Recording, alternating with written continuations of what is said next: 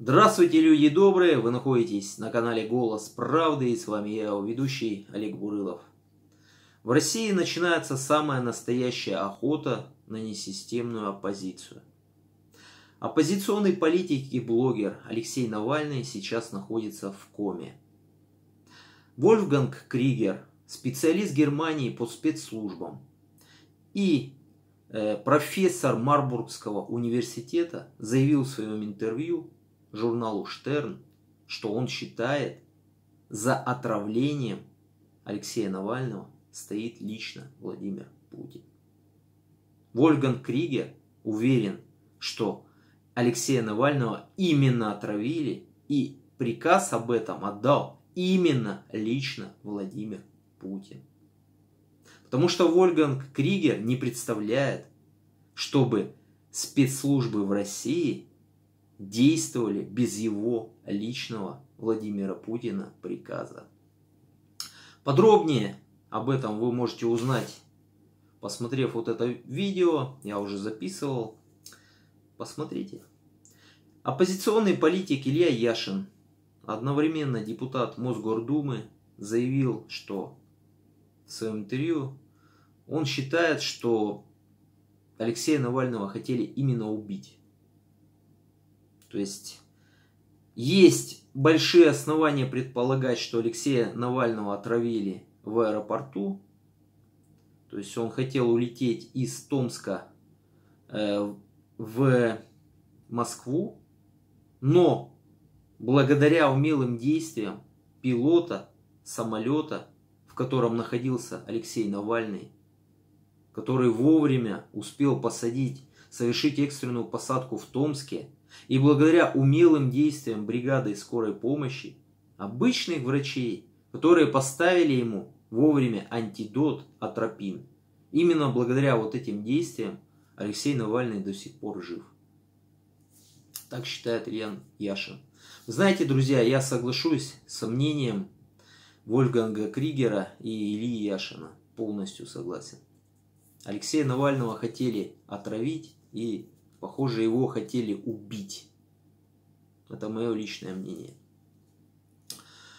Недавно было совершено уже второе нападение на Егора Жукова, оппозиционного блогера, работающего на радио «Эхо Москвы». Егор Жуков общался с многими известными людьми России, то есть это Владимир Жириновский, э, Владимир Милонов – Владимир Познер. Понимаете? И в своих интервью он просто высмеивал вот этих людей. Потому что на самом деле они, конечно, не являются оппозицией. Они, мое личное мнение, я считаю, что они подконтрольны власти. И я считаю, что именно вот за это высмеивание Егора Жукова недавно избили. Ну, подробнее вы также можете посмотреть вот это видео об избиении Егора Жукова и мои мысли об, по этому поводу. Также его недавно исключили из аспирантуры Высшей школы экономики.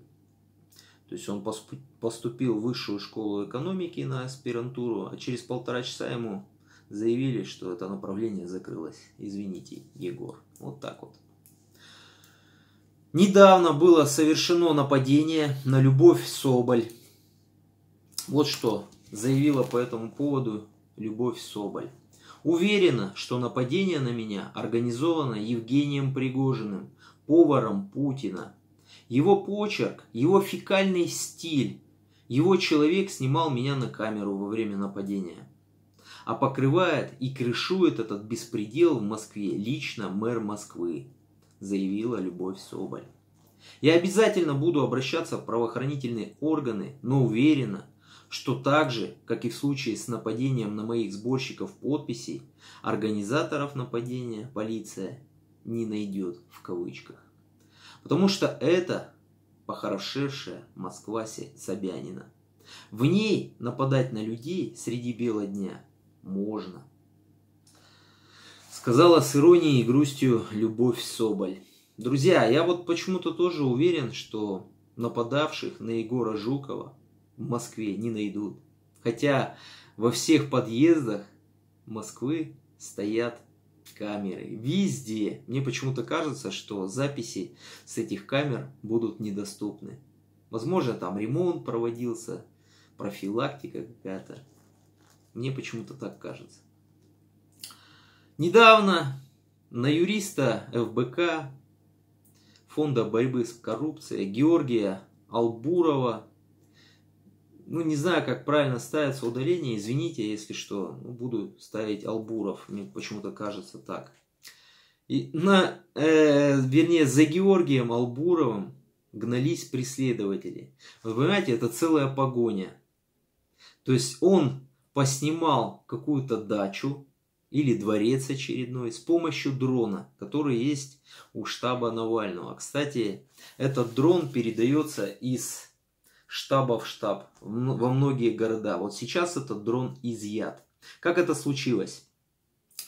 Ну, ссылочку выложу в описании ролика. Вот на эту погоню посмотрите. Довольно-таки занятное видео. Сделайте выводы сами, как говорится. Георгий Дро, э, Албуров уезжал на своем автомобиле. За ним погнались на квадроциклах двое неизвестных. Затем они спровоцировали ДТП. Георгий Албуров вызвал полицию, и эта полиция, обратите внимание, не нашла ничего более здравомыслящего, чем отобрать у него всю технику. Понимаете, друзья? Вот все это вместе, резюмируя, можно сделать вывод, что действительно в России ведется охота на несистемную оппозицию. И делается это именно перед выборами. Потому что наша власть очень боится несистемной оппозиции. Почему власть не боится системной оппозиции? Я считаю, что вся системная оппозиция находится под контролем власти. Я общался с коммунистами, с э, представителями партии ЛДПР, других различных партий и течений. Знаете, у меня сложилось такое впечатление, что именно руководство вот этих партий подконтрольно, подконтрольно власти. Остальные люди, они действительно хотят бороться с этой властью, хотят изменений, перемен. Но вот это вот их руководство ничего не дает им сделать. В частности, мне известно, что Геннадия Зюганова, лидера Коммунистической партии Российской Федерации уже неоднократно хотели сместить с этого поста, ну, вообще даже выгнать из партии. Но когда начинается только разговор о том, что Геннадия Зюганова надо сместить с должности, тут же этих людей самих исключают из партии. Я думаю, что такое происходит и в других системных, э, других партиях системной оппозиции. Также, друзья, вот обратите внимание, сейчас заведено уголовное дело, даже несколько уголовных дел на губернатора, ну сейчас уже бывшего губернатора Хабаровской, Хабаровского края Сергея Ивановича Фургала. Друзья, власть просто панически боится настоящих оппозиционеров. Именно вот по этим нападениям, обвинениям, в уголовных преступлениях, обливанием грязью, в драках, изымании техники, мы можем понять, кто действительно является оппозицией, а кто пляшет под дудочку Владимира Путина. Друзья, пишите ваши комментарии. Я бы хотел попросить вас написать несколько комментариев. Чем больше комментариев вы напишите, тем сильнее можете помочь каналу. Вы можете помочь каналу также подписавшись на него, поставив лайк под этим видео и под всеми видео, которые вам понравятся. Канал глушат. Я не получаю никакой прибыли от своей деятельности. Я работаю, что называется, за совесть. До свидания. С вами был Олег Бурылов, ваш голос правды.